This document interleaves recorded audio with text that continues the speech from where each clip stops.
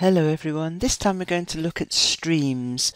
If you look at the top of this Google Classroom there are several different sections. The stream is the first part, we'll look at classwork, we'll look at more sections later and then over to the right there are settings. But this stream for the moment is where we're going to think about being. It's a great place to share messages, have discussions with your students. So, for example, down here, for comments, I actually wrote, I'm your teacher, I've been teaching a long time, I live in Oxfordshire, etc. Please tell us where in the world you live and a little bit about the weather there today. And then it's all me. I live in Spain, it's a lovely warm sunny day, and I replied, Welcome to the course. I can add another question. What time of day is it there. What time of day is it there? And then post to the course, and she might say, um, 7 p.m. now. It is getting dark. Whatever.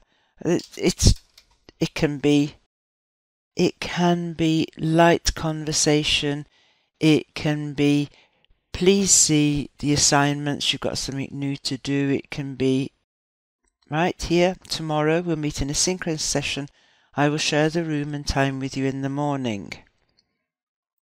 So what time will it be?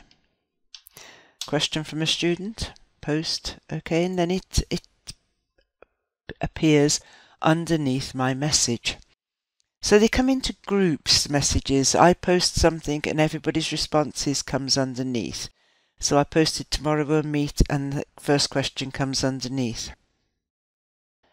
Now I want to actually let them know when the meeting's going to be. So I'm going to say, hi everyone, we're going to meet at um, 10.30 a.m. in the morning.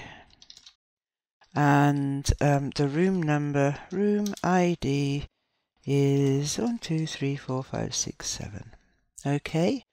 So if I click on post, that would post immediately like you've already seen. But if I click on schedule, I could actually ask it to go out at 8 o'clock in the morning on the next day or any time. I, I can say whenever I want it to go. Now then, you can see the students' messages that everybody can see are listed down here. This one is due to go out tomorrow at 8 o'clock. That means if loads of people were writing to the course tonight, if all my students were all writing, and that's in the settings, I'll show you how to change that. If they're all having a big conversation about work tonight, then this message would appear at the top of the list tomorrow.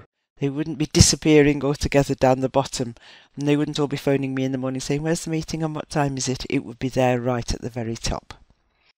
Okay, so that's a little look at streams which you can use almost like a set of forums. You can write messages, everybody can respond.